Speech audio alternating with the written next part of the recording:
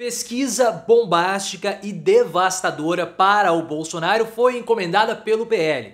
Uma pesquisa que avaliava vários candidatos na disputa com Lula. Tarcísio de Freitas, cinco pontos atrás de Lula. Bolsonaro, nem foi divulgado o resultado. Por que não houve essa divulgação? Grande mistério, mas Michele está empatada com Lula, mostrando que Bolsonaro vai ser descartado pelo PL, que Bolsonaro já não é mais nada e que ele está sendo comido pela ex-esposa, que o abandonou no hospital. Ela não aparece lá, não sei o que acontece com esse casamento, mas você vai colocar nos comentários. Você percebe também esse enfraquecimento político de Bolsonaro? Por que que Michele o abandonou no hospital? Qual a sua hipótese sobre isso? Eu quero muito saber. E Michele teria chances contra Lula? Eu acho que não. Se você concorda comigo que Michele não tem chance contra Lula e que Bolsonaro está acabado, deixa o like e se inscreva no canal. Eu comecei esse vídeo falando sobre o abandono de Michele com Bolsonaro, porque eu acho que isso é muito estranho, pessoal. Bolsonaro ele teve uma internação na semana passada lá em Manaus. Ele já vinha manquitolando nas aparições públicas um problema na perna que não surgiu lá em Manaus, tá? Porque na, em Copacabana ele já estava lá dando sinais que a perna dele não estava boa. Ele foi internado, saiu, voltou e depois com um quadro de obstrução intestinal. Um quadro que sempre acomete Bolsonaro. Bolsonaro ficou internado pra, em Manaus e Michele voltou saiu de Manaus e foi para o Rio de Janeiro, foi para Brasília, sabe-se lá onde Michelle está, mas com Bolsonaro ela não esteve. Isso é muito estranho. Eu já especulo há tempos para vocês que esse é um casamento de fachada, a situação é muito estranha, só que isso é relevante para o futuro político do nosso país. Porque eu já falo para vocês também há um bom tempo que Michele é a grande herdeira política do Bolsonaro. Mesmo Bolsonaro não querendo transferir o seu capital político para Michele, porque ele tem um trauma do passado com a Rogéria, que foi a primeira esposa do Bolsonaro, a mãe do Flávio, do Carlos e do Eduardo. Bolsonaro colocou Rogéria para ser vereadora do Rio de Janeiro. Ela foi eleita duas vezes, eles brigaram e o Bolsonaro teve que colocar o Carlos na campanha municipal de 2020 para disputar com a própria mãe. Isso foi um momento muito traumático na vida do Bolsonaro, que ele não quer ter que repetir mais. Só que se Michele se desgarrar de Bolsonaro e oficializar uma separação, ela pode perder o capital político associado ao nome de Bolsonaro e ele também perde os dividendos porque ela é o principal ativo que ele tem. Porque se Michele vai ser descartado do PL. E saiu uma pesquisa divulgada pela Bela Megali, encomendada pelo PL para o Instituto Paraná, que é o instituto preferido do partido do Bolsonaro, que mostrava a, o nome de Bolsonaro e de outros candidatos concorrendo contra Lula. Bolsonaro, Michele e Tarcísio de Freitas. Mesmo com Bolsonaro inelegível, o PL ainda testa o nome dele nessas pesquisas. O resultado do Bolsonaro contra o Lula não foi divulgado. Possivelmente, Bolsonaro estava sendo derrotado. Porque se Bolsonaro tivesse vencendo, é óbvio que esse resultado seria amplamente divulgado. Mas ele não está. Só foi divulgado os resultados de Tarcísio e Michele. Nós não sabemos o percentual. Sabemos que Tarcísio está 5 pontos atrás de Lula e Michele está empatada tecnicamente com o Lula. Quando houve algo parecido, que o Bolsonaro ficou acima 0,1% do Lula, uma pesquisa encomendada pelo PP, que é o partido do Arthur Lira e do Ciro Nogueira, o Ciro divulgou amplamente isso. Só que foi interessante que o percentual de Michele era maior do que o Bolsonaro. Então, por exemplo, Bolsonaro ficava à frente do Lula com 45,01 e o Lula estava com 45. Quando o Lula era comparado ou com a Michelle, Lula ficava lá, sei lá, com 47%. E Michelle ficava com 46%, sei lá. Era uma distância maior, só que Michelle tinha uma porcentagem maior do que Bolsonaro, mostrando que o voto em Michelle era um voto mais certo. O Bolsonaro e o Valdemar Costa Neto descartam qualquer possibilidade de Michelle disputar 2026 como presidente, possivelmente por motivos distintos. O Valdemar Costa Neto diz que não, tem chance alguma de Michelle disputar.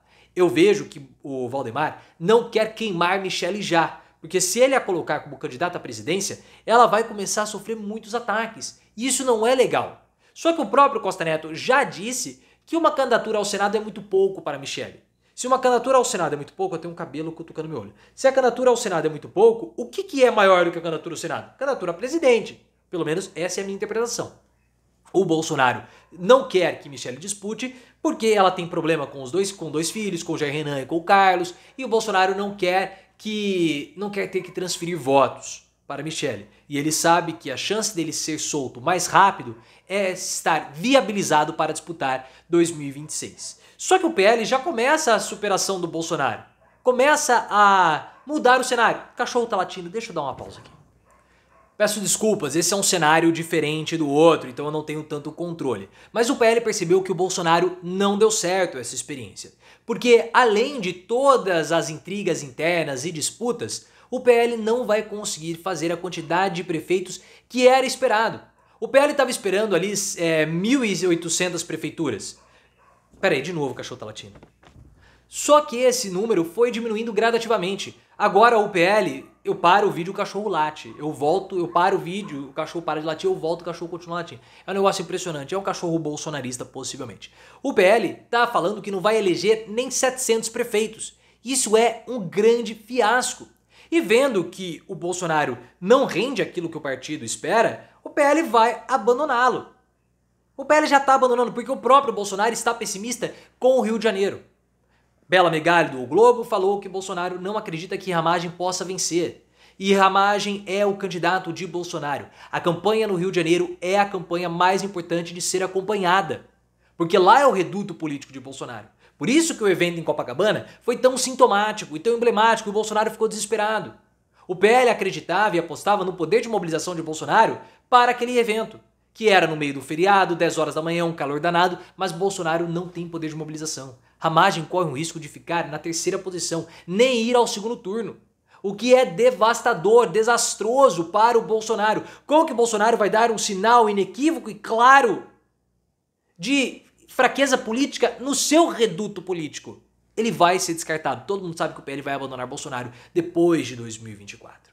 E ele está preocupado, claro, porque o PL já deu esses sinais que o Bolsonaro não é prioridade. E ficou isso óbvio com a situação de Sérgio Moro. Bolsonaro não queria que o PL entrasse com recurso no TSE contra Moro, porque na visão de Bolsonaro isso legitimaria o tribunal a julgar o próprio Bolsonaro. E existe toda uma estratégia para deslegitimar a corte. Mas o Bolsonaro ele foi contrariado, o Valdemar Costa Neto sabia de todas essas intenções do Bolsonaro, não quis nem saber e foi para cima. E foi para cima. O Bolsonaro teme que outras lideranças possam surgir dentro do próprio partido, como Tarcísio de Freitas e outras figuras mais. Porque quanto mais lideranças à direita o país tiver, menos força Bolsonaro tem. Porque Bolsonaro quer falar que ele é a única liderança de direita, porque o bolsonarismo cooptou a direita, e assim ele pode falar que a sua condenação é para tirar a direita da jogada. O PL também já está se prevenindo para isso. Porque o PL está negociando o apoio ao Elmar Nascimento e ao Davi Alcolumbre, futuros candidatos à presidência da Câmara e do Senado, respectivamente, a anistia a Bolsonaro. Só que o PL não quer anistiar o Bolsonaro. Não quer. O PL está preocupado que a condenação do Bolsonaro possa puxar de reboque, em rebo, é, possa puxar junto né, a condenação de outros bolsonaristas, outros parlamentares, como André Mendonça, o Eduardo, o Flávio Bolsonaro. Então a anistia não é para o Bolsonaro mas para os outros candidatos ou para os outros parlamentares, porque o PL já pensa lá na frente sem Bolsonaro. O bolsonarismo sem Bolsonaro. Então eles não estão preocupados com a anistia. E mesmo que haja uma anistia aprovada no Congresso, existe a jurisprudência do STF, no caso Daniel Silveira, para não anistiar, porque não existe anistia para esse tipo de crime. Então esquece, Bolsonaro está sendo, tá sendo descartado, o PL faz esses acenozinhos a ele para tentar é, mais poder dentro do parlamento, mas o próprio Bolsonaro sabe que ele já era e por mais que ele não queira, Michele é a sua substituta.